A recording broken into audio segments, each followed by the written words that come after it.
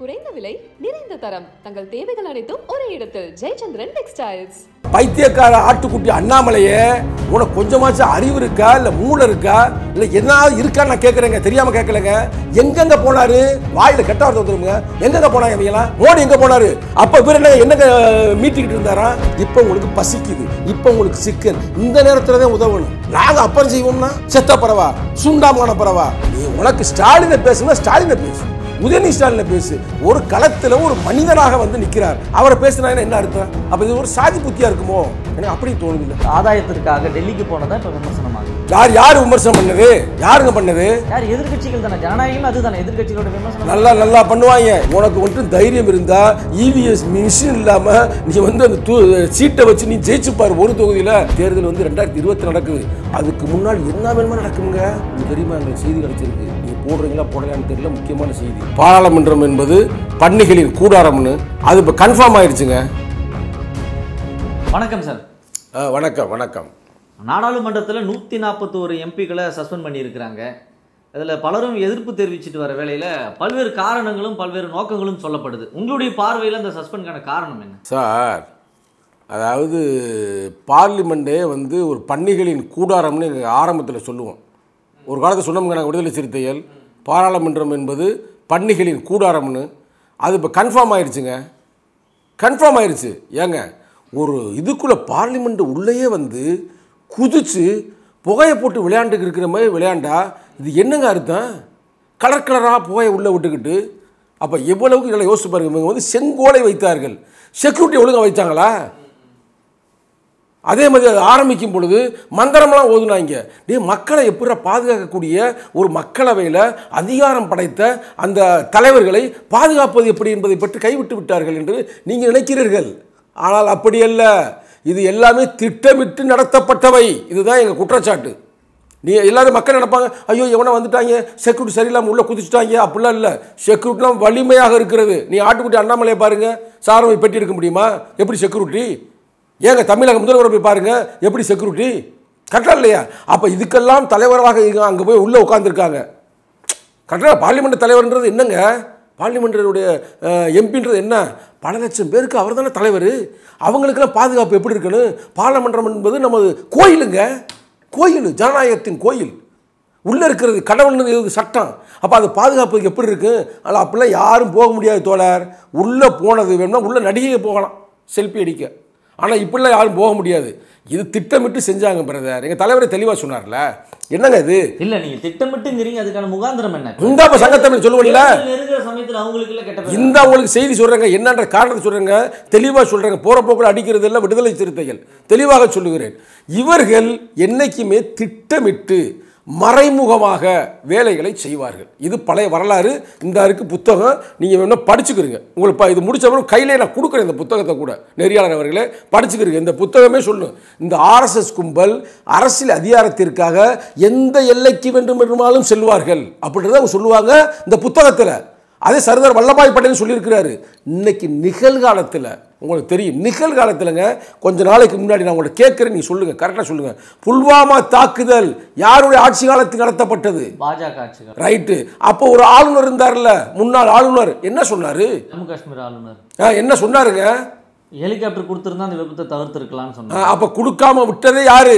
இந்த இந்த மோடி அரசாங்கம் தான் சொன்னார்ல? கொடுத்து நம்ம அவங்களை காப்பாற்றிருக்கலாம்ல ஏன் செஞ்சாங்க? கரெக்டாக தேர்தலுக்கு முன்னால் செய்தார்கள். இவர் என்ன சொல்றார்? ஆளுநர் இவர்கள் எந்த எல்லைக்கு வேண்டும் என்றுமாலும் செல்லுவார்கள். அதுதான் இவங்க வேலை. ஒன்று நான் கேட்கறது மட்டும் நீங்கள் பதில் மட்டும் சொல்லுங்க தயவு செய்து. இவ்வளவு நாள் டெய்லி நீங்கள் என்ன கேள்வி கேட்டீங்களா நீங்கள் பதில் சொல்லுங்க. கா காந்தக்கார் விமான நிலையம் தாக்க விமானம் அந்த கடத்தல் நடந்தது யாருடைய ஆட்சி காலத்தில்? பாஜக. ஓகே. அது கார்கில் ஆக்கிரமிப்பு யார் ஆட்சி காலத்தில் நடந்தது? அப்புறம் நான் அதே மாதிரி நாடாளுமன்றத்தில் வந்து அப்படியே துப்பாக்கியோட போய் டக்கு டக்குன்னு சுட்டாங்க இது பண்ணாங்க. அப்போ ராணுவம் காப்பாத்திருச்சு. அது யார் ஆட்சி காலத்தில்? ரெண்டாயிரத்தி பாஜக. ஆ தெளிவாக இருக்கிறீங்க பயங்கரம். அமர்நாத் யாத்திரை யாருமே யார் காலத்தில் நடத்தப்பட்டது? பாஜக அப்புறம் உரி தாக்குதல் பதினெட்டு பேர் செத்து போயிட்டார் ராணுவ வீரர். யார் ஆட்சிங்க? பாஜக அந்த வரிசையில் இன்னைக்கு வந்து அப்படியே வந்து உள்ளே வந்து உள்ளே அவங்களே அனுப்புகிறாங்க அவங்க பார்லிமெண்ட் எம்பியே வந்து பெர்மிஷன் கொடுக்குறாரு. ரெக்கார்டு வந்துருச்சு. உள்ளே போய் ஒரு புகையை வச்சு ஒரு விளையாட்டு விளையாடினோம்னா அப்படியே பயந்து போயிடுவாங்க இது பூரா செய்தி. என்ன அவசியம்னு கேக்குறேன் அவசியம் என்ன? அதைத்தான் நான் சொல்ல வர்றேன். இதெல்லாம் செஞ்சோம்னா இப்போ வந்து அங்கே பார்லிமெண்ட்டுக்குள்ள நிறையா வந்து திட்டங்களை அதாவது எப்படின்னா இப்போ உங்களுக்கு தெரியும். ஒரு ஒரு எம்பி கூட சொன்னாப்புல சரி சூப்பராக சொன்னாப்புல. மகாராஷ்டிரா எம்பி நினைக்கிறேன். ஏய் நீ இவ்வளோ பெரிய ஆளுதல் ஐம்பத்தாறு இன்ச்சுன்றையில் பிஜேபி வலிமையான அமைப்புன்றையில் ஆர்எஸ்எஸ் பின்புலம் இருக்குல்ல உனக்கு மட்டும் தைரியம் இருந்தால் இவிஎஸ் மிஷின் இல்லாமல் நீ வந்து அந்த தூ சீட்டை வச்சு நீ ஜெயிச்சுப்பார் ஒரு தொகுதியில். கேட்டாரா கேட்கலையா? அதுதான் வேலை இப்போ. பார்லிமெண்ட்டுக்குள்ளே என்னன்னா இப்போ வந்து சீட்டை கொண்டாண்டாங்க அது ஆல்ரெடி கொண்டாந்தாச்சு. அங்கே இருக்கிற தேர்தல் அதிகாரிகளையும் சில ஜனநாயக சக்தியெல்லாம் இருக்கிறாங்க. அவங்க அதிகாரத்தை குறைக்க வேண்டும் என்று மசோதாவை நிறைவேற்றுவதற்காக அவர் திட்டமிட்டு இருக்கிறார்கள் அதை தடுக்க வேண்டும் என்பதற்காகவே இது மாதிரி ஒரு செயலை செய்தால் இதை எதிர்த்து இவர்கள் போராடுவார்கள். அதெல்லாம் போராடுறாங்க. இப்போ எங்கள் எங்கள் எம்பிலாம் போய் என்ன பண்ணுறாங்க நூற்றி நாற்பத்தி ரெண்டு எம்பி நீங்கள் என்ன கேட்குறாங்க இதுக்கு வந்து என்ன காரணம்? இதுக்கு வந்து வா அமித்ஷா வாயை திறந்து பேசு மோடி வாயை திறந்து பேசு. அதெல்லாம் கேட்குறாங்க அதெல்லாம் கேட்குறாங்க அப்போ அதுக்கு என்ன பண்ணுறாங்க ஏங்க நான் ஒன்று கேட்குறேங்க அந்த நேரத்தில். இதுக்கெல்லாம் காரணம் நம்ம காடை கொடுத்து அனுப்புனார்ல கர்நாடகா எம்பி அவரை வந்து கைது செய்திருக்கிறாங்களா? கைது செய்திருக்கிறாங்களா? நடவடிக்கை எடுக்கல ஏங்க அவர் வந்து இப்போ தூக்கி வெளியே அவர்லங்க தூக்கி வெளியே அனுப்பணும். அதை விட்டு இப்படி எங்கள் நூற்றி நாற்பத்தி ரெண்டு எம்பியை வெளியேற்றுறது என்ற காரணம் என்னவென்றால் பல மசோதாக்களை அவர்களுக்கு சாதகமாக வருகின்ற தேர்தலுக்கு சாதகமாக செய்கின்ற ஒரே காரணத்தால் இப்போ வெளியில் விரட்டி விட்டாங்க. இதுதான் உண்மையான காரணம். வேறு எந்த காரணமும் இல்லை. ஆனால் இன்றைக்கி சொல்கிறேன் எழுதி வச்சுக்கிறீங்க இந்த இப்போ நான் சொன்ன இந்த இதெல்லாம் சும்மா கொஞ்சம் லிஸ்ட்டு இன்னும் என்னென்ன நடக்க இருக்குன்னு நம்ம யாருக்குமே தெரியாது. இந்த தேர்தல் வந்து ரெண்டாயிரத்தி இருபத்தி நடக்குது. அதுக்கு முன்னால் என்ன வேணுமா நடக்குங்க ஒன்று தெரியுமா? எங்களுக்கு செய்தி கிடச்சிருக்கு. நீங்கள் போடுறீங்களா? போடலான்னு தெரியல. முக்கியமான செய்தி. ஒருவேளை இவங்க வந்து இந்தியா கூட்டணி ஸ்ட்ராங் ஆயிருச்சுல உடைக்க முடியல வலுவாக இருக்குல்ல அப்போ ஜெயிச்சிருவாங்கன்னு அவங்களுக்கு தெரியும். ரிப்போர்ட்டே தெரியுங்க சட்டமன்றத்தில் கூட இந்த கூட்டணி மட்டும் கொஞ்சம் ஸ்ட்ராங்காக இருந்துருதுன்னு வச்சுக்கிறேன் காங்கிரஸ் மட்டும் இந்த பெரிய அண்ணன் தோணையில் இல்லாமல் கொஞ்சம் அப்படியே விட்டு கொடுத்துருந்தாங்கன்னா நிச்சயமாக அந்த ராஜஸ்தான் மத்திய பிரதேஷ் அஞ்சு தொகுதியுமே வந்திருப்பாங்க. எப்படி தெலுங்கானாவில் வந்தாங்களோ அதே வந்திருப்பாங்க. அதே ரிப்போர்ட்டுங்க ஆனால் இப்படிங்கிற கொஞ்சம் தோரணை. இன்னும் திருந்தலை. இனியா திருந்துவேன் நினைக்கிறேன். யார் காங்கிரஸ் சொல்கிறேங்க திருந்தோம் நான் நம்புகிறேங்க இப்போ இதை மட்டும் விட்டு கொடுத்து இவங்க இருந்தாங்கன்னா வர பாராளுமன்ற தேர்தலில் எல்லா இடத்துலையும் ஜெயிச்சிருவாங்க. இவிஎம் மிஷினே வச்சாலும் கூட ஜெயிச்சிருவாங்க. அதில் எந்த மாற்று கருத்தும் இல்லை. ஏன்னா எல்லாத்தையுமே உள்ளே போய் செக் பண்ணுறதுக்குலாம் இப்போ நாங்கள் டீம் உருவாக்குறோம். ஏன்னா ஏன் எதுக்காக நான் வந்து இப்போ இந்த வாக்காளர் முகவர்களுக்கு ஏன் நாங்கள் பரிசு கொடுக்குறோம்? ஏங்க கொடுக்குறோம் உள்ள கவனமாக நீங்கள் பார்க்கணும். மிஷினில் வந்து இப்போ நீ இன்றைக்கி வந்து இப்போ நிறைவேற்றப்பட்டிருக்கு. இன்றைக்கில நேற்று. என்னன்னா ஓட்டு போடுறோம்ல? ஓட்டு போடும் பொழுது அதை ரெக்கார்ட் பண்ணுறதுக்கு அது பேப்பர் வரும்ல? அதையும் பூத்தில் போட்டு வைங்கன்றாங்க. அது மாதிரி பல விஷயங்கள் செய்கிறான். இது பூரா தகர்க்க வேண்டும் என்பதற்காகவே திட்டமிட்டு இப்படி ஒரு செயலை செய்கிறது. இப்போ எல்லாருக்கும் அட்டென்ஷன் எங்கே இருக்குது டே பார்லிமெண்ட்டு காலியாகிருச்சுடா பிரச்சனைடா. உள்ளே ஏதோ போட்டாங்கடா. வந்துச்சா வரலையா? இப்போ உடனே அதை எதிர்த்து கேட்டனால எல்லா எம்பியும் விரட்டி விட்டாங்கல்ல. இப்போ அவங்க பாட்டு கூட்டி எல்லாத்தையுமே அவங்க வந்து நிறைவேற்றி விடுவார்கள். அதுதாங்க செயல் திட்டம். ஆனாலும் கூட நாங்கள் தொடர்ந்து மக்கள்கிட்ட கொண்டு போக போகிறோம் எங்கள் தலைவர் சொல்லிட்டார்ல தலைவர் வேறு இப்போ எங்கள்கிட்ட பேசினாருங்க. இப்போ ஆர்ப்பாட்டம் நடந்துட்டு உங்களுக்கு தெரியுமா? மதுரையில் ஆர்ப்பாட்டம் கடலூரில் ஆர்ப்பாட்டம் சிதம்பரத்தில் ஆர்ப்பாட்டம் இந்தியாவிலேயே பெருமையாக சொல்கிறேன் இந்த நூற்றி நாற்பத்தி ரெண்டு எம்பிகளை நீங்கள் இது பண்ணால தன்னெழுச்சியாக எங்கள் தலைவர்லாம் சொல்லலைங்க. நான் கூட சொல்லலைங்க. அங்கங்கே ஆர்ப்பாட்டம் நடந்துக்கிட்டு இருக்குங்க. அப்போ அவ்வளவுக்கு இன்னைக்கு தொண்டர்கள் வலுவாக இருக்கிறார்கள். விடுதலை சிறுத்தையில் இவ்வளோ வலுவாக இருந்தால் திராவிட முன்னேற்றக் கழகம் காங்கிரஸ் மற்ற ஏனைய கட்சிகள் இப்போ எல்லாமே நாங்கள் ஒற்றுமையாக வர்றோம். இப்போ ஒற்றுமையாக வரும்பொழுது இந்த ஒற்றுமை தகர்க்க வேண்டும் என்பதற்காக அவர் செயல்படுகிறார்கள். இதான் உண்மை. இப்போ நீங்க சொன்னீங்க மசோதாக்களை நிறைவேற்றுவதற்காக எம்பிகளை வெளியேற்றிட்டாங்க. அதுல சில விஷயங்கள் நடக்குது அப்படின்னீங்க. இதே எம்பிகளை வெளியேற்றின விஷயத்தை வச்சுக்கிட்டே தானே இப்போ தமிழகத்தில் நடக்கிற அந்த வெள்ள பிரச்சனைகளை திசை திருப்புற மாதிரி இருக்குது இல்லையா? அதாவது வெள்ள பிரச்சனை நடக்கிறதுக்கு யாருங்க திசை திருப்புறா? இது இயற்கையாக உருவாக்கப்பட்டது. இது யாரும் திட்டமிட்டு உருவாக்கப்படவில்லை? இது இந்தியாவில் மட்டும் உருவாகவில்லை. தமிழ்நாட்டில் மட்டும் உருவாக உலகம் பூரா ஆகிட்டு இருக்கு. போன வாரம் அமெரிக்காவிலையும் பெரிய பிரச்சனை. கேள்விப்பட்டீங்களா? செய்தி உங்களுக்கு கிடைச்சா அதை வந்து நம்ம அறிவுபூர்வமாக சயின்டிஃபிக்காக எப்படி அப்ரோச் பண்ணுறது அதை எப்படி மக்களை பாதுகாப்பது? அதற்கான செயற்திட்டங்களை தமிழக அரசாங்கம் சிறப்பாக செயல்பட்டு கொண்டிருக்கிறது. அது எந்த மாற்றம் கருத்தும் இல்லை. ஏங்க உங்கள் வயசுல பார்த்துருக்க மாட்டீங்க. திடீர்னு நூறு சென்டிமீட்டருக்கு மேலே போச்சுன்னா என்னங்க பண்ணுறது இப்ப அந்த செயல் திட்டங்கள்ல விமர்சனம் கிடையாது. இப்படி ஒரு வரலாறு காணாத வரலாற்றிலே பதிவாகாத இப்படி ஒரு மழை. சில இடங்கள்லாம் மழையே பார்க்காத இடங்கள்லாம் தொண்ணூறு நூறு சத நூறு சென்டிமீட்டர் மழை வரும்போது சிஎம் வந்து மக்களோட மக்களாக நிக்கணும் களத்துல நிக்கணும். களத்துல நிக்காம அரசியல் ஆதாயத்திற்காக டெல்லிக்கு போனதா இப்ப விமர்சனம் ஆகுது யார் யார் விமர்சனம் பண்ணது? யாருங்க பண்ணது? யார் எதிர்க்கட்சிகள் தானே? ஜனநாயகம் அதுதானே எதிர்க்கட்சிகளோட விமர்சனம் நல்லா நல்லா பண்ணுவாங்க. ஏங்க எங்கெங்க போனார்? தளபதி ஸ்டாலின் தமிழக முதல்வர் எங்க போனார்? டெல்லிக்கு போனாரு. டெல்லியில போய் என்ன செய்யறாரு இந்தியா கூட்டணி. ஆமாங்க சோழியை முடிக்கிறதுக்கு தான் போயிருக்கிறாரு. இந்தியா கூட்டணி வலிமையாக்க வேண்டும் என்பதற்காக சென்றிருக்கிறார். அது மட்டுமல்ல. அது மட்டுமல்ல. அது மட்டுமல்ல. அதே நாளில் நேற்று பத்தரை மணிக்கு யாரை போய் சந்திக்கிறாரு? நம்ம ஐம்பத்தாறு இன்ச்சு. யார் தெரியுதா? ஆ பிரதமரை சந்திக்கிறார். சந்திச்சுட்டு அமௌண்ட் கேட்டாரு. பன்னெண்டாயிரம் கோடி எங்களுக்கு கொடுங்கப்பா அப்படின்னு இருக்காரு. இப்போதைக்கு அது பன்னெண்டாயிரம் கோடி அப்புறம் கூட கொடுங்க. ஒரு ஏழாயிரம் கோடியை ரிலீஸ் பண்ணுங்க. அப்படின்னு போய் கேட்குறாருங்க அவங்க ஒழுங்கு காசு அனுப்பியிருந்தா நாங்கள் இதுக்கு அங்கே போகிறோம் நாங்கள் எதுக்கு அங்கே போகிறோம் ஏன் களத்தில் நிற்கலையா களத்தில் வந்து அக்கா கனிமொழி அங்கே இல்லையா? நான் கேட்குறேன் எல்லா அமைச்சர் அங்கே தான் இருக்கிறாங்க. ஏன் உதயநிதி ஸ்டாலின் அங்கே போய் இல்லையா? எல்லாம் அங்கே வேலை நடந்து கொண்டு இருக்கிறது சிறப்பாக நடந்து கொண்டு இருக்கிறது. அமைச்சர் உதயநிதி அவர்கள் என்ன துறையை சார்ந்த அமைச்சர்? ம். அங்கே போக வேண்டிய அமைச்சர்கள் அங்கே போகவில்லை இதுதான் இப்போ கேள்வி? முதல்வர் நாளை செல்லுகிறார். நேற்று அவர் இந்த மக்களுக்காக காசு இல்லாமல் ஒன்றும் செய்ய முடியாது. ஒன்றுமே செய்ய முடியாது. அப்போ அதெல்லாம் ஒதுக்குங்கப்பா அப்படின்னு கேட்க போயிருக்கிறாருங்க. நீங்கள் நிறைய பேர் சொல்லி தர்றாங்க கேள்விப்படல கேள்விப்படல. இப்போ வந்து நம்ம சென்னையில் பயங்கரமான ஒரு வெள்ளம் வந்துச்சுல அதுக்கு நிதி ஒதுக்குங்க நிதி ஒதுக்குங்க நம்ம கேட்டோம்ல. ஆனால் இவங்க வந்து ஒரு மயிலையும் கொடுக்கல. கேட்டோம்னா கடைசியில் வந்து ஒரு ஆயிரம் கோடியில் வந்து ஏ- ஆயிரம் கோடி கொடுத்துருக்காங்க நினைக்கிறேன். அப்படி தானே ரெண்டு தவணை ஆயிரம் கோடி கொடுத்தனால அவர் கேட்டது எவ்வளவு? ஐயாயிரம் கோடி கேட்டாப்புல. ஆனால் நீங்கள் நினைக்கக்கூடாது. இந்த ஆயிரம் கோடி கொடுத்தாங்க பாருங்கள் இது வந்து இந்த நிவாரணத்துக்காக கொடுக்கப்பட்ட நினைக்காதீங்க. இதற்கு முன்னாலேயே பெரிடத்திற்காக வழங்கப்பட்ட பழைய தொகை பழைய பாக்கி.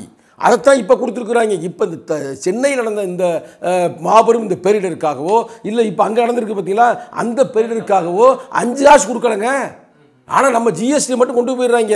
உங்களுக்கு தெரியாது நானே ஜிஎஸ்டி வந்து பதினஞ்சு லட்சம் கட்டியிருக்கிறேன். அப்போ பார்த்துக்கிறேன் சாதாரண ஒரு தொழில் பண்ணுற ஆள். அப்போ மற்றாலும் எவ்வளோ ரூபாய் கட்டி கட்டி கொடுத்துருப்பாங்க? அப்போ அந்த பணத்தை பூரா அங்கே வச்சுருக்கிறாங்க. வச்சிருக்கிறாங்க அப்போ இந்த தேசத்தை காப்பாற்றணும்னா நீ பாட்டுக்கு பிரச்சனை நடந்ததுமே அனுப்பிவிடணும்ல. அனுப்பிட்ட வரையும் அங்கே போகிறாரு இவரே அங்கே போகிறாரு இந்தியா கூட்டணி கூட இவர் போகாமல் வேற ஆளை கூட அனுப்பி விட்டுருப்பாப்புல. கரெக்டாக இல்லையா? இவர் சென்றதின் முக்கியமான நோக்கம் இந்தியா கூட்டணின்ற அந்த நிகழ்வுக்கு மட்டுமல்ல நமக்கான பணம் வரல. அஞ்சு காசு கிடைக்கல. அப்போ என்ன பண்ணுறது வாங்கிட்டு வந்தாலும் மக்களுக்கு கொடுக்க முடியும். நீங்கள் எல்லாருமே இதை பற்றியும் பேசுகிறீங்க பயிர்கள்லாம் முக்கியமாக நாசமாகி போச்சுங்க. டோட்டலாக நாசமாகி போச்சுங்க. வீடுகள் நாசமாகி போச்சுங்க. இன்ஃப்ராஸ்ட்ரக்சர் எல்லாமே காலி. டோட்டலாகவே காலி. சென்னையை விட பயங்கரமான பாதிப்பு. அப்போ இப்படி இருக்கும் பொழுது இதை போல திருப்பி ரீகவர் பண்ணி கொண்டாடுறதுக்கு அவரே சொல்கிறார்ல பன்னெண்டாயிரம் கோடிக்கு மேலே வரும்னு சொல்கிறார்ல அப்போ இமிடியேட்டாக கொடுக்க வேண்டியதானே? ஏன் கொடுக்கல? இதை மோ இவர் பேச மாட்டார் ஆட்டுக்குட்டி அண்ணாமலை. நான் உங்கள்கிட்ட கேட்குறேங்க அப்புறம்? இப்ப அண்ணாமலை அவர்கள் என்ன கேட்கிறாரு அப்படின்னா ரோம் நகர் பற்றி எரியும் பொழுது நீரோ மன்னன் வந்து ஃபெடல் வாசிச்சுட்டு வந்தாரு. அந்த மாதிரி முதல்வர் ஸ்டாலின் டெல்லிக்கு சென்றிருக்கிறார் அப்படின்னு அவருடைய குற்றச்சாட்டு. ஆனால் பைத்தியக்கார ஆட்டுக்குட்டி அண்ணாமலையே உனக்கு கொஞ்சமாச்சும் அறிவு இருக்கா இல்லை மூளை இருக்கா இல்லை என்ன இருக்கான்னு நான் கேட்குறேங்க தெரியாமல் கேட்கலங்க எங்கெங்க போனாரு? என்ன உங்கள் உங்கள் உங்கள் உங்கள் பிரதமர் வெளிநாட்டுக்கா போயிட்டாரு? ஏங்க மணிப்பூர் கலவரம் நடந்து கொண்டு இருக்கும்போது இந்த குரூப்பு இந்த வாயில் கெட்ட வார்த்தை வந்துருங்க எங்கெங்க போனாங்க இவங்களாம் மணிப்பூர் கலவரம் நடக்கும்போது ஒரு பெண்மகளை வந்து அவமானமாக்கப்படும் போது இந்த குரூப் எங்கே போச்சு? மோடி எங்கே போனார்? அப்போ இவர் என்ன என்னங்க மீட்டிக்கிட்டு இருந்தாரா? அப்போ இவர் வாயை தொடர்ந்து சொல்ல வேண்டியதானே? சரி பிரதமர் தான் போயிட்டு நீ போக வேண்டியிருக்கலாம்ல மணிப்பூரை பற்றி ஏதாவது வாய் பேசினாரா? இப்போ வந்து தமிழக முதல்வர் அங்கே சென்றது. மீண்டும் சொல்லுகிறேன் தெளிவாக தெளிவாக சொல்லுகிறேன். என் மக்கள்கிட்ட காசு இல்லை பணம் இல்லை. இந்த நிவாரண நிதிக்கு பேரிடர் கொடுப்பதற்கு வழி இல்லை. அதை குடுறா பைத்தியக்கார பயல்களா? அப்படின்னு போய் நேராக கேட்க போயிருக்காரு. இவ்வளோதான் விஷயம். அது மட்டுமல்ல ஆறாயிரம் ஆறாயிரம் ரூபா கொடுத்துருக்கா தெரியுமா தெரியாதா? எல்லாரும் நீ வாங்கிட்டீங்களா? எல்லாரும் கொடுத்துருக்குறாங்க ஈவன் e- வந்து உங்களுக்கு வந்து ஆதார் அட்டை இல்லாத ஆட்களுக்கு கூட இன்னும் வந்து ரேஷன் கார்டு இல்லாத ஆட்களுக்கு கூட கரெக்டாக கண்டுபிடிச்சி அவங்களுக்கான வழி செய்து கொண்டு இருக்கிறார்கள் அல்லவா? இது சிறப்பானது அல்லவா? அதாவது இங்கே பாருங்கள் பிரதர் உங்களுக்கு இப்போ வெள்ளம் வந்துருச்சு. இப்போ உங்களுக்கு பசிக்குது. இப்போ உங்களுக்கு சிக்கல். இந்த நேரத்தில் தான் உதவணும். நாங்கள் அப்புறம் செய்வோம்னா செத்த பறவா சுண்டாமான பறவா நல்லா யோசிச்சு பாருங்க. இப்போ உங்களுக்கு பிரச்சனை இப்போ நடந்துகிட்டு இருக்கு. இப்போ வெளில வந்துருச்சு. எல்லாம் சிக்கல் இருக்கிறாங்க. இமிடியேட்டாக இங்கே ஆறாயிரம் ரூபா கொடுத்துல அங்கே தலைக்கு பத்தாயிரம் பத்தாயிரம் கொடுக்க வேண்டியதானே? ஏன்னா அங்கே பயிர் பாதித்திருக்கப்பட்டிருக்கு. இங்கே ஒன்றும் விவசாயம் பெருசாக இல்லை. அங்கே விவசாயம் இருக்குது அதுமாதிரி உப்புகள் அங்கே தான் நிறையா வளர்ப்பேன். பார்த்துருக்கீங்களா அந்த நிலங்கள் பூரா தரிசாக போச்சு. அப்போ அவன் எங்கே போவேன்? அன்றாடம் காட்சி எல்லாம் வேலை பார்த்தாதே விவசாய வேலை பார்த்தாதே அவனுக்கு காசு தினக்கூலி. அப்போ அவன் டக்குனு ஒரு பத்தாயிரம் பத்தாயிரம் கொடுத்துடலாம்ல? இவர் எங்கிட்ட இருந்து கொடுப்பாரு? அப்போ நீ தானப்பா கொடுக்கணும்? மாநில அரசு இருபத்தைந்து சதவிகிதம் ஆ, அப்போ மிச்சது ஒரு ரூபா கொடுக்குறாங்க இது வரைக்கும் இதுக்கு வாய் திறந்து பேச சொல்லுங்க ஆட்டுக்குட்டி அண்ணாமலை அப்புறம் நம்ம பேசுவோம். ஓ வெள்ள பேரிடர் காலத்தில் பல மீட்பு குழுக்கள் வருவாங்க தேசிய பேரிடர் மீட்பு குழு வரும். தமிழக அரசு சார்பாக மீட்பு குழு போவாங்க. அமைச்சர்கள் துறை சார்ந்த அதிகாரிகள் போவாங்க. மாரி செல்வராஜுக்கு களத்தில் என்ன வேலை அப்படிங்கிற ஒரு கேள்வி வருது. அதுவும் அரசு அதிகாரிகள் ஆய்வு மேற்கொள்கிற அந்த நேரத்தில் திரைப்பட இயக்குனருக்கு என்ன வேலைன்ற ஒரு கேள்வி வருது. ஏங்க அவன் திரைப்பட இயக்குனர் அடுத்து நான் தாண்டா முதல்வர்கிட்ட வந்து பல பேர் இங்கே திருறாங்க. யாரை சொல்கிறேன்னு மக்களுக்கு தெரியும் உங்களுக்கும் புரியும். இவர் வந்து அப்படி ஒன்று அடுத்த முதல்வர்னு சொல்லிட்டு வரலங்க. அந்த ஊரில் அவர் சொந்த ஊர். சொந்த ஊர். புளியங்குளம் தெரியுமா தெரியாத? புளியங்குளம் அவர் சொந்த ஊர். என் நண்பருங்க. அவங்க ஊரில் வெள்ளம் வந்துருச்சு. அவங்க அப்பா உள்ளே போய் மாட்டிக்கிட்டாரு. இவர் அங்கே இருக்கிறாரு. இப்போ வந்து அவர் ரஞ்சித் தயாரிப்பில் ஒரு படம் எடுக்கிறாங்க விக்ரமனுடைய பையனை வச்சு. அந்த படம் ஷூட்டிங்காக லொக்கேஷன் பார்க்க போயிருக்கிறார். நம்மளோட தொடர்பிலான இருக்கிறாரு. அங்கே இருக்கும் பொழுது இப்படி வந்துருச்சு. வரவுமே அப்புறம் வீட்டில் தூங்க சொல்றீங்களா வர களத்துக்கு போகணும் இல்லைங்க இவர் களத்தில் இருந்தார். அந்த களத்திற்கு உதயநிதி ஸ்டாலின் சொல்லுகிறார். நல்லா கேட்டுக்கிறீங்க. உதயநிதி ஸ்டாலின் ரெண்டு இடத்துக்கு இவர் போலங்க. இவங்க ஊரில் பிரச்சனை. புளியங்குளத்தில் பிரச்சனை. அங்கே யார் வர்றா? எல்லா அதிகாரிகளும் வர்றாங்க.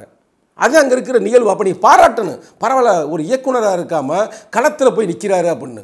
அதை நீங்கள் பாராட்டிருக்கணும்ல இங்கே பாரு. அதெல்லாம் ஒன்றும் இல்லைங்க அவர் வந்து இன்றைக்கி ஒரு ஃபேமஸான இயக்குனருங்க. நல்ல ஒரு தெளிவான படங்கள்லாம் எடுத்துக்கிட்டு இருக்காரு. ஒரு புரட்சிகர சிந்தனைகளை உள்ளே உள்ள கொண்டாந்து கொண்டிருக்காரு. அதை பார்த்துமே நிறைய பேருக்கு பிடிக்கல. இன்னைக்கு பார்த்தீங்களா அவர் ட்வீட் பார்த்தீங்களா? நல்ல ட்வீட் போட்டிருந்தாருங்க. அவர் ட்வீட்டு கூட நம்ம நீங்கள் படிச்சிருப்பீங்க. பயங்கரமான ட்வீட் போட்டிருந்தாரு. மாரி செல்வராஜ் ட்வீட்டு. அதை நான் சொல்கிறேன் பாருங்கள் அதிலே எல்லாமே அடங்கி போயிருது. எல்லாமே அடங்கி போயிருதுங்க. அவ்வளோ கருத்தாக சொல்லியிருக்காரு. என்ன சொல்லிக்கிறேன் பாருங்கள் என் கலையும் கடமையும் நான் யார் என்று நிரூபிப்பது அல்ல. நீங்கள் யார் என்று உங்களுக்கு நிரூபிப்பது. அப்போ என்ன அர்த்தம்? நீங்கள் யாருன்னா யார்? பைத்தியக்கார பள்ளி அப்புறம் எதுக்குறது யார் தெரியுமில்ல? மாரி செல்வராஜ் களத்துக்கு சென்று விட்டார். அவர் யார்? கேட்குற யார் நினைக்கிறீங்க? எல்லாம் சங்கி கொடுப்புங்க. கரெக்டாக இல்லையா? வேறு யாரும் திறக்கலைங்க? ஏங்க பிரச்சனை வந்தால் இதில் என்னங்க இயக்குனர் இதில் என்னங்க கேமராமேனு இதில் என்னங்க நெறியாளர்? யாராக இருந்தாலும் போய் மக்களை வேண்டும் மக்களுக்காக பாடுபட வேண்டும். மனித நேயத்தை வளர்க்க வேண்டும். அதான வந்து உலக நீதி அதான தமிழுடைய பண்பாடு அதான தமிழுடைய கலாச்சாரம். நல்லா யோசித்து பாருங்க ட்ரெயினில் வந்து பிரச்சனையாகி இருபத்தி நாலு நேரம் உள்ளே கிடந்துச்சு. ட்ரெயினில் இருக்கிற மக்களை பூரா காப்பாற்றிட்டாங்க காப்பாற்றின பிறகு அந்த மக்கள் நடந்து போகிறாங்க நான் கண்ணால் பார்த்தீங்க கண்ணீர் வெடிச்சிட்டேங்க. நடந்து போகிறாங்க ஊரில் கிராமத்து மக்கள்லாம் சமைச்சு அப்படி சோறை கொண்டாந்து கொடுக்குறாங்க. சோறு என்ன தண்ணி என்ன இதுதாங்க மனித நேயம். மனித நேயத்தை வந்து எந்த நேரத்தில் நம்ம தெரிஞ்சுக்கலாம்னா இது மாதிரி இயற்கை பேரிடரில் தான் நமக்கு தெரியும். அதை வந்து மாரி செல்வராஜ் சிறப்பாக செய்கிறார். பாராட்டுகிறார். நீ உனக்கு ஸ்டாலினை பேசுனா ஸ்டாலினை பேசு. உதயநிதி ஸ்டாலினை பேசு. ஒரு களத்தில் ஒரு மனிதனாக வந்து நிற்கிறார் அவரை பேசுனாங்கன்னா என்ன அர்த்தம்? அப்போ இது ஒரு சாதி புத்தியாக இருக்குமோ? எனக்கு அப்படி தோணுதில்ல. ஏய் இவங்கெல்லாம் சும்மா அடிமையாக கடந்த பயிலுங்க. வந்துக்கிட்டு இவங்க பெரிய போலீஸ் அதிகாரி மாதிரி வந்து பக்கத்தில் நிற்கிறாங்க அதிகாரிங்க அது கூட உள்நோக்கமாக இருக்குங்க பொது புத்தியில் அதுவும் வரும். எனக்கு என்னமோ அப்படி தான் தோணுது. ஏங்க நான் யதார்த்தமாக கேட்குறேங்க இப்போ எத்தனை இயக்குனர் கருத்து சொல்கிறேன் அதை நான் ஆரம்பத்தில் சொன்னேன். எத்தனை இயக்குனர் வர்றேன்? ஏ அப்படின்றேன் ஒருத்தன் வந்து பிரபாகரனுடைய மக வரும்பொழுது ஏ அவங்க மகதான் அதுதான் போலியான ஒரு விஷயத்தை சொன்னாப்புல சொல்லியா ஒருத்தர். அவர் அவர் யார்? இயக்குனர் தானே? யாருங்க அவர்? இயக்குனர் தானே? இன்னைக்கு ஒரு சொல்றாரு ஏய் அடுத்த முதல்வர் நான் தான்டா அப்படின்றார். யார்? அவர் இயக்குனர் தானே? அப்போ இவ்வளவு இருக்கும் பொழுது ஏன் இவர் வந்து பேசக்கூடாது? மண்ணின் மைந்தன் ஏன் பேசக்கூடாது? ஏங்க பேசக்கூடாது? பேசுறதுல எந்த தப்பும் இல்லை களத்துன்றது எந்த தப்பும் இல்லை. தொடர்ந்து நாங்கள் பயணிப்போம். இதனுடைய தொடர்ச்சியாக விடுதலை சிறுத்தைகள் நடத்துகிற மாநாடு. மிகப்பெரிய மாநாடு இது. இதுவரை விடுதலை சிறுத்தைகள் கட்சியை ந நடத்திடாத ஒரு மாநாடு அப்படின்னு சொல்லப்படுகிறது. கோவையில் ஒரு இடத்துல இந்த மாநாடு குறித்த ஒரு தகவல். உங்கள் கட்சி தலைவர் திருமாவளவன் பெயரோட ஒரு சுவரில் வந்து எழுதுறாங்க. அடுத்த நாள் ம மதி அந்த அந்த நாள் மதியமே வந்து அது அழிக்கப்பட்டு திமுக அந்த கட்சியை சார்ந்தவர்கள் முதல்வருடைய பெயரில் அதை எழுதுகிறாங்க திரும்ப விடுதலை சிறுத்தைகள் அதை அழிச்சிட்டு அன்று இரவே வந்து திரும்ப அது முன்னாடி எழுதுனதே எழுதுறாங்க. இந்த முரண்பாடு சொந்த க அதாவது கூட்டணி கட்சியினருக்கே இது ஏற்படுதுன்னா அப்போ மற்ற கட்சியினருடைய நிலை என்ன அப்படிங்கிற ஒரு கேள்வி வருதுல்ல? தோழர் அதாவது அது ஒரு சாதாரண நிகழ்வுங்க. எப்படின்னா இந்த சுவர் விளம்பரம் மாதிரி எப்படின்னா எடுத்து போடுவாங்க. எங்கள் தலைவர் மாநாடு அப்படின்னு அறிவிச்சாருன்னா அங்கே போய் எழுதிடுவாங்க விசிகே டிசம்பர் டுவெண்ட்டி நைன் அப்படின்னு எழுதிடுவாங்க அப்போ அதில் யாரும் எழுத மாட்டாங்க. உங்களுக்கு புரியுதா? புரியுது புரியுதா புரியலையா அப்போ அதில் நாங்கள் எழுதிடுவோம் ஒருவேளை அங்கே எழுதாமல் இருந்தால் என் கலைச்சி செய்தி அதுதான். எழுதாமல் இருந்தால் இப்போ இருபத்தி மூணாம் தேதி மாநாடுன்னு முதல்ல சொன்னார். அப்புறம் தலைவர் வந்து இருபத்தி ஒம்போதுக்கு மாற்றிட்டார். நீங்கள் பார்த்துருப்பீங்க. அப்போ மாற்றும்போது அதில் தெரியாத சில பேர் ரைட் மாநாடு முடிஞ்சிருச்சு ஒருக்கு அப்படின்னு டிஎம்கே எழுதிட்டாங்க. நான் ஃபுல்லாக விசாரிச்சிட்டேன். அங்கே என்ன நடந்துச்சுன்னு மாவட்ட செயலர்கிட்ட எழுதிட்டாங்க. உடனே எங்களுக்கு செய்தி வந்துச்சு. உடனே மாவட்ட செயலர் அவங்க மாவட்ட செயலர்கிட்ட பேசினார். உடனே ஓகே எழுதிக்கிறேங்கன்றார் எழுதிட்டான். முடிஞ்சு போச்சுல. இது ஒரு நட்பு முரண். இது ஒரு பகை முறைனால நீங்கள் உருவாக்காதீங்க. இது ஒரு நட்பு முறைங்க தான். ஆனால் நீங்கள் மாநாட்டை பற்றி கேட்டதுனால அந்த கருத்தை நான் சொல்கிறேன் இந்த மாநாடு வரலாற்று சிறப்புமிக்க மாநாடு நீங்களே சொன்னீங்க. எப்படின்னு கேட்டுக்கிறீங்களேன். நூறு ஏக்கரை முத முத விடுதலை சிறுத்தைகள் எடுக்குதுங்க. எடுத்து வந்து ஏறக்குறைய பத்து லட்சம் பேர் வர்றத மாதிரி செட் பண்ணுறேன் பத்து லட்சம் பேர் வர்றதா இருந்தால் எத்தனை வண்டி வரணும்? யோசித்து பாருங்க. வண்டி மட்டுமே எழுபதாயிரம் வண்டி வரப்போகுது. உளவுத்துறை பயந்து போயிருக்கிறாங்க. இந்திய உளவுத்துறை. டே இவங்க எத்தனை பேரை கூட்டியாராங்க? மெயின் ரோட்டில் இருக்குது அப்படின்னு. எங்கள் தலைவர் அதற்காக முந்தானத்து மீட்டிங் போட்டார். எல்லா மாவட்ட வர சொல்லி எங்களை மாதிரி மேலிட பொறுப்பாளர் வர சொல்லி டே ரொம்ப கவனமாக செயல்படணும்டா. ரோடு பக்கத்தில் இருக்குது பல லட்சம் பேர் வர போகிறாங்க மக்கள் ரொம்ப நேர்மையாக நீங்கள் கொண்டு வரணும். எவனும் தண்ணி அடிக்கப்படாது அப்படின்னு நெறிப்படுத்துகிறார். ஏன் நெறிப்படுத்துன்னு தெரியுமில்ல? முக்கியமான கருத்தை பதிவு செய்கிறேன் நான் நக்கிரன் தொலைக்காட்சி ஒரு முக்கியமானது. பதிவு செய்ய விரும்புகின்றேன். தேசம் காப்போம் மாநாடுன்னு ஒன்று நடத்தின பார்த்தீங்களா அதே திருச்சியில் பல லட்சம் பேர் வந்தாங்க பார்த்தீங்களா அந்த தேசம் காப்போம் மாநாடு நடத்தும் பொழுது அந்த அவைக்கு பல பேர் வந்தார்கள். அதில் ஒருத்தர் வந்து தளபதி ஸ்டாலின். அவர் அப்பொழுது எதிர்க்கட்சி தலைவராக வந்தார். நல்லா கேட்டுக்குங்க. தேசம் காப்போம் மாநாட்டுக்கு பிறகு அந்த கருத்து தாக்கம் தமிழகம் மூலம் பரவி என்ன ஆனுச்சுன்னா பத்தாண்டு ஆண்ட அந்த பிஜேபி அந்த பிஜேபியுடைய அடிமை ஆட்சியாக இருக்கின்ற அண்ணா திராவிட முன்னேற்ற கழகம் ஆட்சி அழித்தொழிக்கப்படுகிறது பத்தாண்டுக்கு பிறகு முதல்வராகிறார். அதை போலவே வருகின்ற இருபத்தி ஒன்பதாம் தேதி நாங்கள் நடத்துகிறோம் என்ன? வெல்லும் ஜனநாயகம். அப்படின்னு என்ன அர்த்தம்? வீலும் சனாதனம்னு அர்த்தம். அந்த மாநாட்டுக்கு யார் வர்றா? கார்கே இவர் வர்றாருங்க காங்கிரஸ் கட்சி தலைவர் வர்றாரு. தெரியுமா? தளபதி ஸ்டாலின் வர்றாங்க. கம்யூனிஸ்ட் தலைவர் எல்லாருமே வர்றாங்க. இப்போ வந்து எங்கள் மாநாடு முடிஞ்சதுமே வருகின்ற பாராளுமன்ற தேர்தலில் இந்தியா கூட்டணி வெற்றி பெற்று அந்த கார்கியா அர்ஜுன் கார்கேல அவர் பேர்? அதான பேர்? காங்கிரஸ் கட்சியுடைய தலைவர். அவர் தலித்து தலித் தெரியுமா தெரியாதா? அவர் நாளைக்கு பிரதமராக போறாருங்க. எழுதி வச்சுங்க நான் சொன்னதை. இதுவும் பத்தாண்டு அதுவும் பத்தாண்டு. இந்த பத்தாண்டு யாருடைய ஆட்சி இப்போ? மோடியுடைய ஆட்சி. இந்த ஆட்சிக்கு ஒரு முடிவு கட்டுறான். முடிவு கட்டுறதுக்கு தான் இவ்வளவு சிறப்பா வெல்லும் ஜனநாயகம் சிறுத்தைகளின் அடுத்த பாய்ச்சல். தேதி மாற்றப்பட்டது அப்படின்னு சொன்னீங்க இல்லைங்களா? அதுல ஒரு முரண் இருக்கிறதா ஒரு பெரிய பேச்சு போயிட்டு இருக்கு திமுக நடத்துகிற இளைஞரணி மாநாட்டுக்கு எந்த பாதிப்பும் வந்து விடக்கூடாது அப்படின்றதுக்காக திருமாவளவன் வந்து கன்வீனியன்ஸ் ஆயிட்டு தேதி மாத்திட்டார் அப்படின்னு ஒரு சொல்லப்படுது. அப்படி இல்லை. அதுக்கு ஒரு காரணம் சொல்றேன் முத எடுத்ததுமே பதினேழாம் தேதி டிசம்பர் அவங்க மாநாடு சேலத்தில் நடப்பதாக இருந்தது. அடுத்து இங்கே சென்னையில் மா பெரிய வெள்ளம். பார்த்தீங்களா பார்க்கலையா? இந்த வெள்ளங்கள்லாம் பாதித்த பிறகு அவங்க வந்து மாநாட்டை வந்து இருபத்தி நாலுக்கு அவங்க மாற்றினாங்க மாற்றினாங்களா மாற்றல இருபத்தி நாலுக்கு மாற்றிட்டாங்க அவங்க மாநாட்டிலையும் தளபதி ஸ்டாலின் கலந்து கொள்கிறார். யார் கலந்து கொள்கிறார்? தளபதி ஸ்டாலின் அங்கே கலந்து கொள்கிறார். அப்படி இருக்கிற பொசிஷனில் எங்கள் மாநாட்டிலையும் வந்து கலந்து கொள்கிறார்? யதார்த்தத்தை பேசுவோம். அப்போ அ- அதே நாளில் அங்கேயும் கலந்துக்கிட்டு இங்கேயும் எப்படி கலந்துக்கிடுவார் எங்கள் மாநாடு முதல்ல இருபத்தி மூணு இருந்துச்சுல அப்போ இருபத்தி மூணு நைட்டுக்கு கலந்துக்கிட்டு உடனே இருபத்தி நாலு காலையில் எப்படி போக முடியும்? அவர் கொஞ்சம் வயது முதிர்ந்தவர் தானே. நம்ம எல்லாத்தையும் பார்க்கணும்ல. அந்த ஒரு காரணம் மட்டுமல்ல. அந்த ஒரு காரணம் மட்டுமல்ல. எங்களுக்கும் வருத்தம் இருக்குல்ல. புயல் வந்திருக்கு வெள்ளம் வந்திருக்கு இவ்வளோ சிக்கலாக இருக்குது இது எப்படி நம்ம பார்த்துக்கிட்டு இருக்க முடியும்? அப்போ மாற்றி அமைக்கணும். உங்களுக்கு புரிதா புரியலையா? அப்போ மாற்றி அமைக்க வேண்டும் என்பதற்காக. தேங்க தலைவர் மாற்றி அமைக்கிறார். இருபத்தி ஒம்போதாம் தேதி. இப்போ எல்லா தலைவரும் வருவாங்க மாற்றி அமைக்கிறார். இப்போ திராவிட முன்னேற்ற கழகம் மொத்தத்தில் டேட்டே இல்லாமல் இப்போ தள்ளி வச்சுட்டாங்க. வச்சுட்டாங்க தள்ளி வச்சுட்டாங்கல்ல? இப்போ உங்கள் இன்ட்ரி முடிஞ்ச பிறகு இப்போ உங்கள் நீங்கள் இன்ட்ரி எடுக்கிற இந்த நேரம் முடிஞ்சது அடுத்த அரை மணி நேரத்துக்கு பிறகு எங்கள் தலைவருடன் நாங்கள் ஜூம் மீட்டிங் நடத்துகிறோம். மாநில செயலாளர்கள் மாவட்ட செயலாளர்கள் இப்போதே இப்போதே செய்தி வந்துச்சு. அப்போ நாங்கள் இப்போ முடிவு பண்ணுவோம். ஒருவேளை எங்கள் தலைவர் கூட மாற்றி அமைக்கலாம். சொல்ல முடியாதுங்க. இல்லை அதை இருபத்தி ஒன்பது கூட நடத்தலாம். இது வந்து எங்கள் கட்சியுடைய நலன் என்பதை விட மக்களை நாங்கள் அணிதிரட்டுறோம்ல எல்லா மக்களும் பிரச்சனை இல்லாமல் வரணும்ல. கவலை இல்லாமல் வரணும்ல. எல்லா தலைவரும் வரணும்ல. இது ஏன் வரணும்? மக்களை அரசியல்படுத்தணும் டேய் சங்கிப்பேலு நாட்டை காலி பண்ணிடுவாங்கடா ரொம்ப கவனமாக இருங்கடா. ஒருவேளை அம்பேத்கர் சொன்னதை விட உங்கள் கருத்தை நான் சொல்ல விரும்புகிறேன் என்ன சொன்னார்? புரட்சி அம்பேத்கர் வருங்காலங்களில் நான் இல்லாமல் கூட போகலாம். ஆனால் இந்துத்துவவாதிகள் இந்தியாவே ஆட்டை போட விரும்புவார்கள். அவர்களை அழித்தொழிப்பதுதான் உங்கள் வேலை. அதற்காக உயிரை கொடுத்தாது போராடுகள்னு சொல்லியிருக்கிறார்கள் அந்த அந்த புத்தகத்தில் இருக்குது உங்களுக்கு கொடுக்க போகிற புத்தகத்திலேயே இதில் வந்து முன்னாடி எழுதியிருக்கிறாரு. இதைத்தான் இருக்கிறார் சொன்னாலும் அதை கருத்தில் இருக்காரு ஓ, வருங்காலங்களில் இப்படிலாம் வரும்ன்ற அப்படியே ஃபோர்காஸ்ட் பண்ணியிருக்கிறாங்க. ஆயிரத்தி தொள்ளாயிரத்தி இந்த புக்கு அவர் அம்பேத்கர் சொன்னது ஆயிரத்தி தொள்ளாயிரத்தி ஐம்பத்தி அஞ்சில் இறப்பதற்கு ஓராண்டுகளுக்கு முன்னாடி சொல்கிறாரு இந்தியாவில் பிள்ளை அப்போலாம் ஆர்எஸ்எஸ்லாம் ஒன்றுமே பெருசாக இல்லை. பிஜேபிலாம் ஒன்றும் பெருசாக இல்லை. சொல்லப்போனால் ஆர்எஸ்எஸ் கூட கொஞ்சம் இருந்துச்சு வச்சுங்களேன் பிஜேபின்னு உருவாகவே இல்லை. அது எண்பதுக்கு பின்னாடி தான் வருது. அதுக்கு பின்னாடி அப்படியே வந்து இவங்கெல்லாம் உருவாகிறாங்க.